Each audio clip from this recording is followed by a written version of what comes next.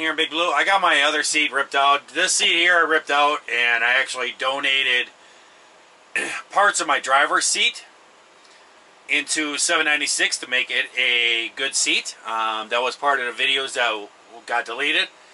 I actually, um, what I what it was was the mechanism, the gear mechanism that locks the back of the seat was been broken in mine. I've actually had a bungee cord that has been holding my seat back for like about a year. And um, I ripped that out and I ripped, uh, basically ripped the mechanism out of the, his seat. His seats were all ripped up. And um, my cushions were in good shape and made one good seat out of it and put it in his truck. So so I actually drove back with no passenger seat. I took my passenger seat and put it in my driver's seat. I have a, I'm working on getting a new seat, a brand new chair.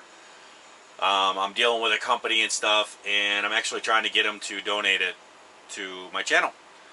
Uh, I don't do that too much, but it's a pretty expensive one, and it's a seat I'm interested. So, so I came back. I only had one seat in here, and decided since I was all cleaned out, I decided I was going to scrub uh, my truck out. And so I actually pulled that seat out too, and um, I kind of scrubbed the floor and got everything really clean and everything. Uh, but we're going to start working on replacing some leaks. I know one of the major leaks is right here. So pull all these screws out.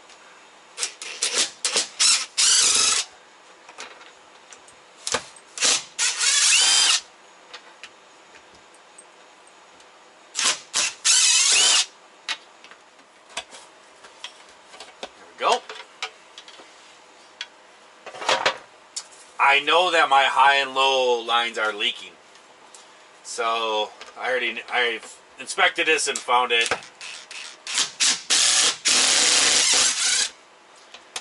So I'm going to be replacing those.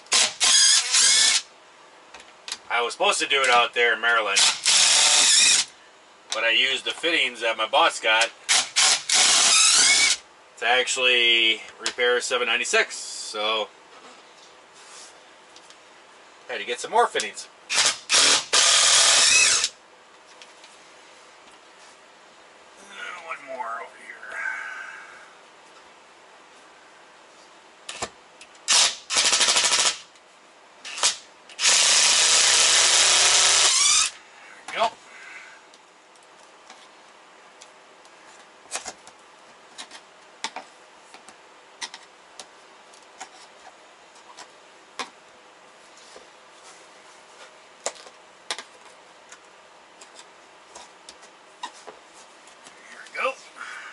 Slide that up. Get it out of the way. Right here is our fittings. So basically, they're a quick disconnect. They just leak. I've cut them off and tried to get them and tried to reseal them. They just don't work. So I bought some new ones and I'll go grab them and put them in. These have got to be some of the smallest fittings I've ever seen. It takes a 5 16 in the center and the outside one's a 3 8 But they are compression. So they should seal them up and not have to worry about le leaking them again.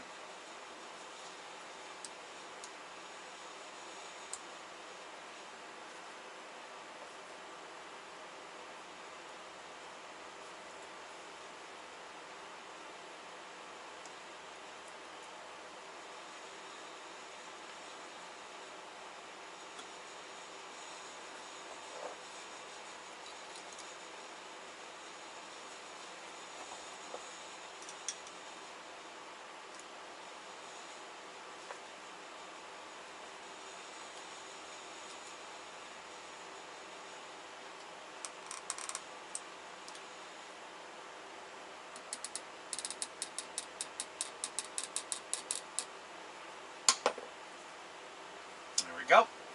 I'm actually going to put my seat back in real quick. And um, I'm going to drop that back in. And then um, I'm going to fire the truck up, put air to everything, and make sure that there's no more leaks down in here.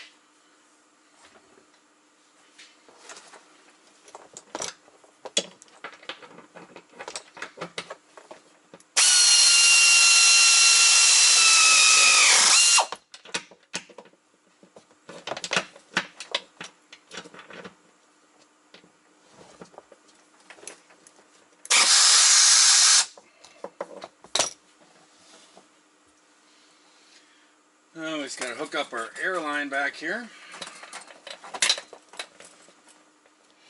Well, guys, we got her aired up.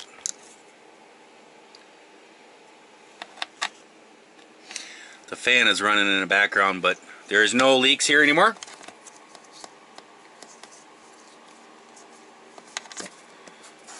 And guys, I don't think there's another leak on this truck. I can't hear any leaking here. The fitting that was leaking out there Let's see if I can find it here. It was right down here. Yeah. It's that double thing right there. But I don't I don't see that one leaking here. Let me get some soapy water, make sure before I close this up. One of the things is I used to have my refrigerator down here. And I'm moving it up here. Um, the reason why I'm moving it up here is because every time that I wanted to get food out, I had to get down on my hands and knees and go under this table to get it. Um, it was a big pain in the butt. So I moved it up here, put it up here now, and um, I put a uh, ketchup fell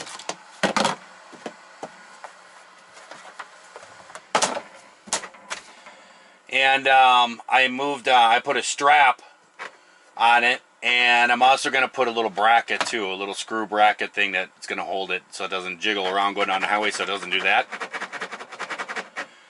Um, my TV I can still have my TV mounted. It's just going to be over there all the time.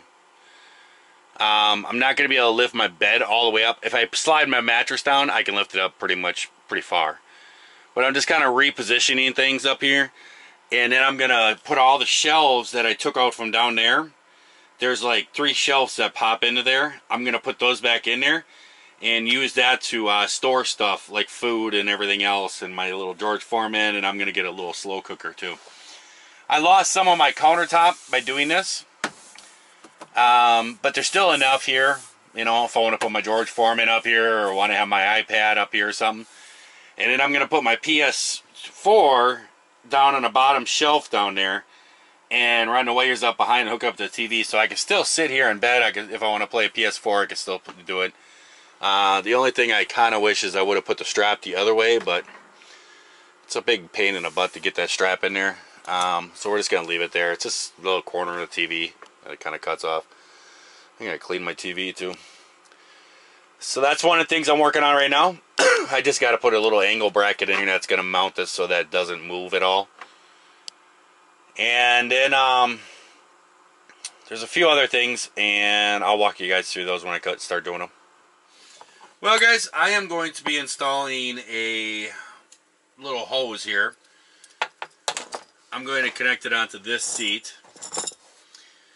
And basically, it's just a T, and then it's going to have a little air blower thing here. Just so I can blow the floor out once in a while. If I want to clean the truck up, I can just blow it out and stuff. So, I bought one of these. I think it was from the pilot or something. Is this is a cheap one. And, um, it is what it is. The nozzle, I don't know if it'll be any good or not. How long it'll last, but... There we go, I got the nozzle on there. Just a cheap little nozzle. Nothing special. So I'm just going to cut this airline that goes to the seat. Cut it right about there. And air is going to shoot all over the place, and I'm going to see if I can connect it real quick.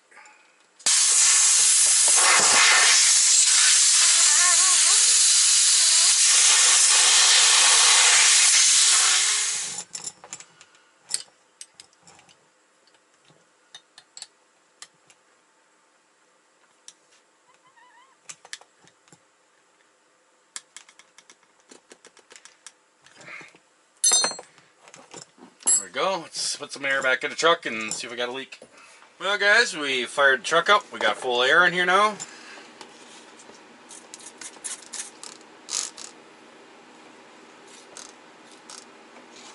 Look for some air leaks. Looks good. Now we got a little nozzle.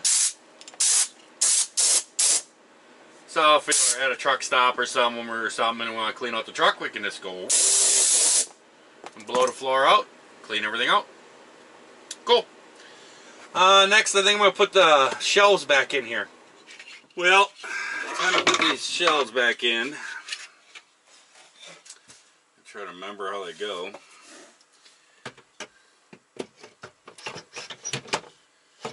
I have to take that one piece out to get this one in.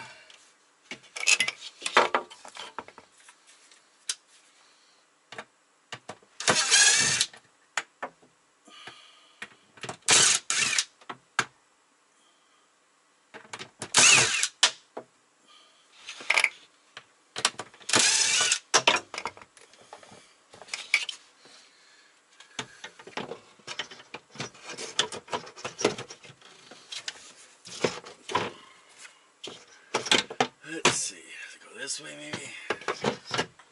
There we go.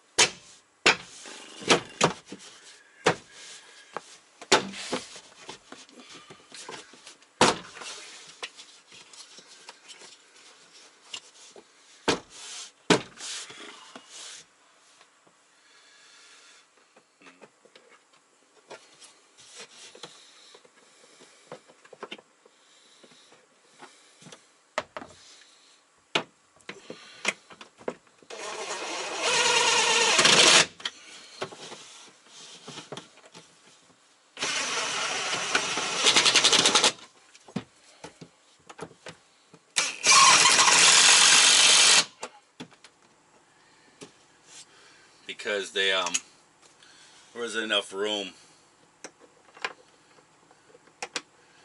If I left ones on one side it was just perfect for the refrigerator. Made it nice and snug. But with both of them on I couldn't fit them I couldn't fit the refrigerator in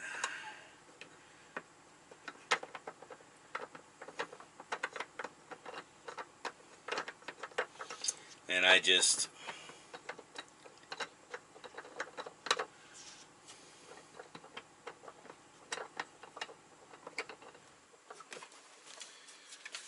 put everything into a baggie.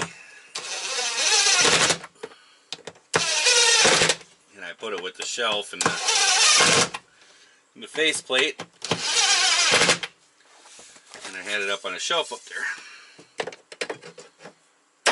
Just like that keeps things from rolling out. Just like that. And then the faceplate just snaps on.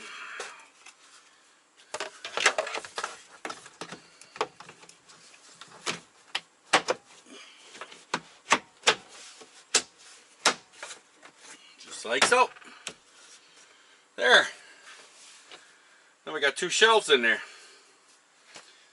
And if I need to, I'm going to put like probably food and stuff up in here. But I think I'm going to get a little slow cooker. I don't think it'll fit. A slow cooker will fit from here to here, but you can just go like that. Put it in there. And then snap that back into place so it keeps it from falling back out. So there we go. Got my shelves back in. Alright guys. Our next step is going to be to work on this windshield. Um, I am going to be using a product that I saw actually on a YouTube. I saw this, um, I'm always trying to figure out some way to get a windshield that the bugs don't stick to it so much, you know, because they do a videoing out of it. You can see my camera mount there and stuff.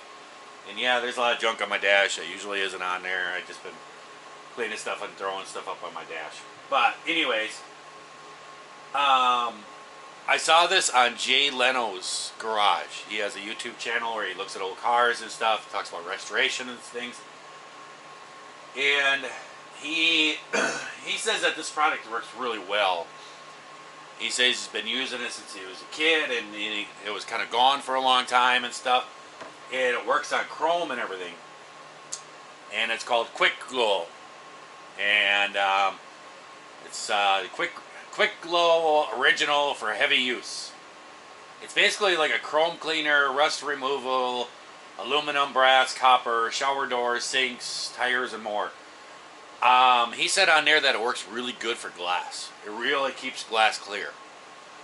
And so I decided to order some up, and I ordered up. Uh, I hit the link on one of his videos, and I ordered up a jar of this stuff.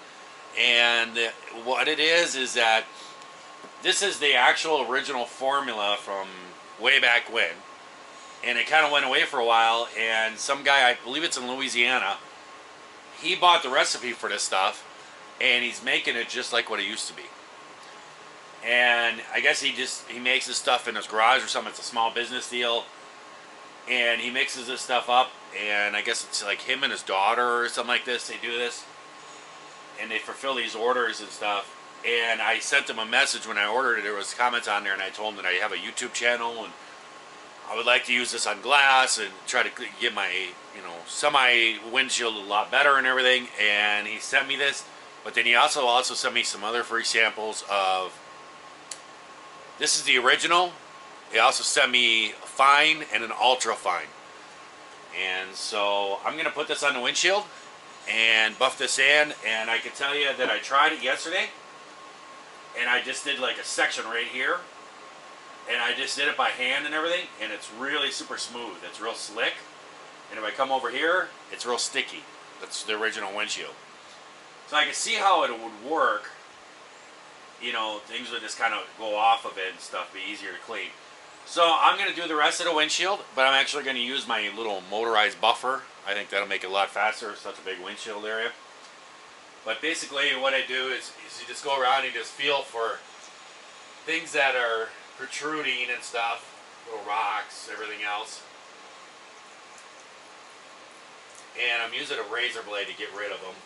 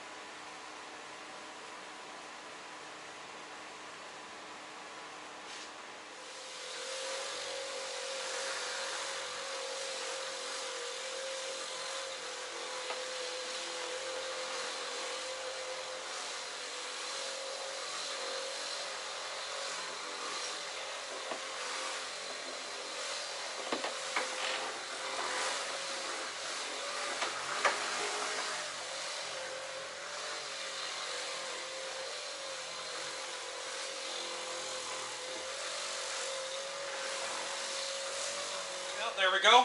That's the first coat put on there. Pretty simple. Um, they were talking uh, probably, you know, something that has been treated, probably three to four coats. Um, so, you know, I think what I'll do is I'll, you know, I bring my buffer and stuff with me. I think what I'll do is um, about once a week, I'll buff out the stuff. So I'm also going to do the side windows and the mirrors too. I'm going to do all that so that I can Get these windows really nice. So I'm going to jump on that. My foot is stuck. There we go. Finish that up and move on to the next project. Well guys, uh, another thing I'm doing is this headlight. Um, for some reason, it keeps blinking on and off.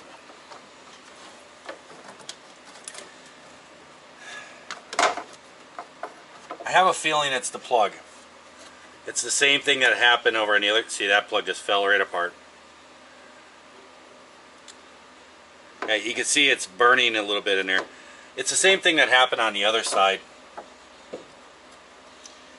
And um, this plug is broke, you know, just from time over, just plastic and stuff.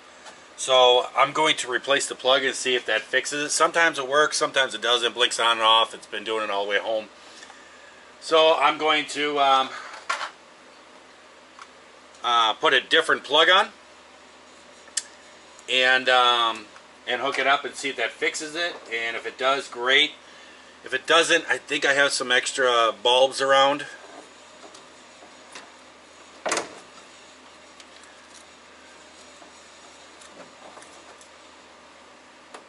Well guys, it's this um, HID bulb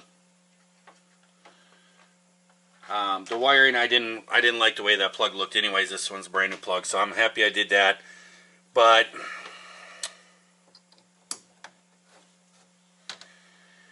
it does. The bulb doesn't work, and if you move these wires around, so I can get it to do it again, it's like really super dim.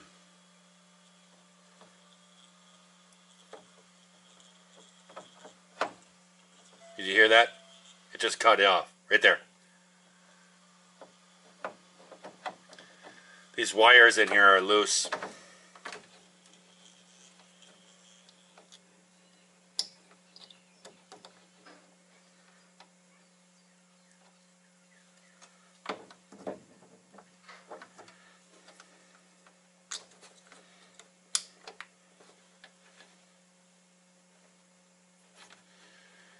see. You could, I don't know if you can see that or not, but there's real dim, dim lights. And the fan, every time you wiggle the wires, it cuts on and off. So that's been my problem. That's been the the uh, XK Glow ones. These I got from the Petro. I think these were the cheapest headlight, the LED headlights I had. So those are not going to be working. Where did I just put that? So I'm going to just put a halogen bulb back in here for right now. I already tested it and it's working. See. So I'm just going to put this in for right now until I can get these HID. That's going to be my main goal right now is to get these uh, HID bulbs installed. I'm, my night vision is pretty bad. It's on this truck. It's it's um it's been getting worse and worse. Now that I got all the wiring figured out and everything, now I can go ahead and put those. I don't want. I don't want to put them in there because I I seem to be blowing up LED bulbs, and it turned out it was the wiring. It was the plugs actually. So I don't have the time right now, but um, I will get to that as soon as I can. I'll take everything with me.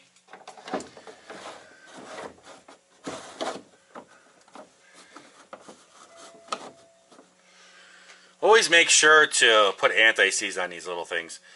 These things rust in here really bad. Um, we've actually, these things are over $15 just for this little bolt thing here. So, the 796, those are all rusted, and the mechanic took it apart, just grabbed it and cranked on and broke it, instead of trying to, you know, PB blast it and everything, get it out. And so, it's very common. They rust in there. Um, but if you put anti-seize on them once in a while, then they'll be good to go. Mine were really bad. I had to work them back and forth and PB blast, and took a lot to get them out to save them. But I got them out. um, but I got these little wing nut things, and I got new clips at the shop. And whenever there's a truck that has one, they can just put it on there and put these little wing nut deals on it. It's just a quarter twenty, and then I put a big fender washer on there. So there we go. Headlight is good. Um, you can hear the fan running on the other LED. John used to pick on me that I have one yellow light and one white light. And it used to be the opposite way. The white light used to be over there and the yellow is over there. Um, and that was because I was going through all that wiring, so I had halogen bulbs over there because I was tired of burning out my LEDs. Now I'm back to the other way. I got a halogen over here and an LED over there. But hey, it makes it legal. Alright guys, um, here's the last thing I'm going to do today. I have been looking around for a chrome accent. You know, a lot of times they're like stainless steel, whatever. But there's an accent panel that you can get that goes alongside the bottom of the truck here. This it replaces this. There's this bolts underneath here, and this little fairing piece comes off of here. Um, you can get them just chrome, or you can get them with lights and everything else. They're super expensive. I mean, I've seen them for $800. I've seen them up to $1,200. It's pretty crazy. I'm not going to spend that much money. I had an idea. Um, my old boss, he used to get this stuff. And basically what it is, is like a plastic. It's a real hard plastic. And it's got a real sticky adhesive on the back of it. And um, it's basically fake chrome. So what I'm going to do is I'm going to do a test strip. I want to make sure that it's going to stick on here before I go nuts. So I've cleaned this part, this, this little straight part here. I've cleaned this real good And um, and then I've also taken brake cleaner and cleaned it all up really good and everything. And I actually see a little bit right here I want to get rid of. I was talking about that. Looks like I missed a little spot there in the beginning.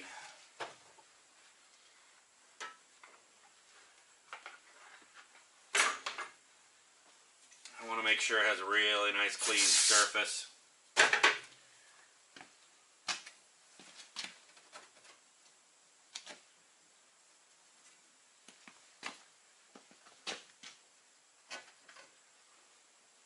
Yep, there's just a little bit of dirt up there.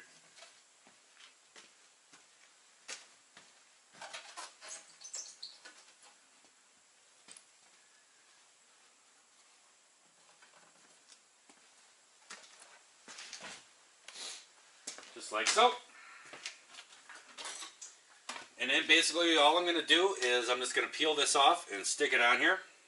And I'm going to do a little test on it and run her for a couple weeks and see if it sticks. If it doesn't, if it starts to peel off or whatever, then I'll just peel it off and um, you know, apply some sticky residue on it and I'll just use a like a Goo Gone or something like that and just clean it up and no harm done.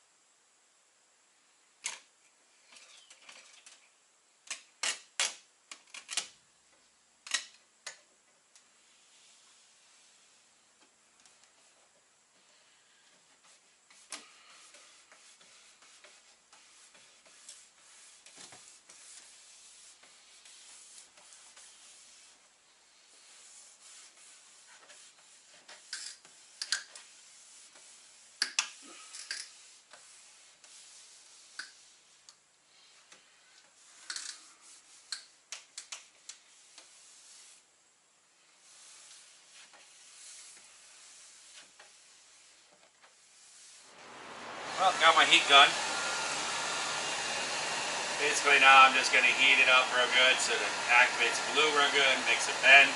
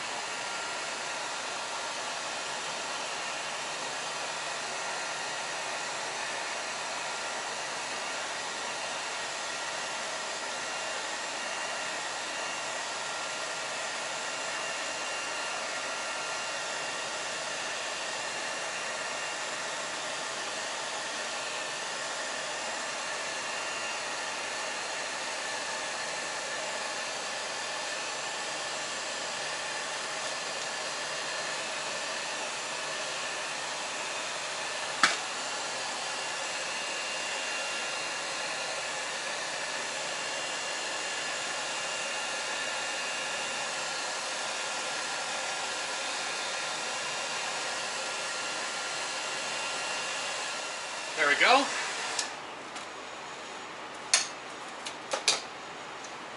Now I know you're thinking, oh, that's hazy looking and everything else. Well, it's actually got a plastic covering on it.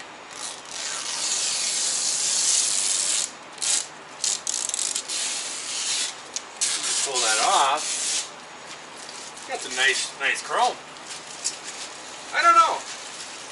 We're gonna give it a test try. I'm just going to do this one section. I know it looks kind of goofy like this. But I'm going to do this, just this one section here.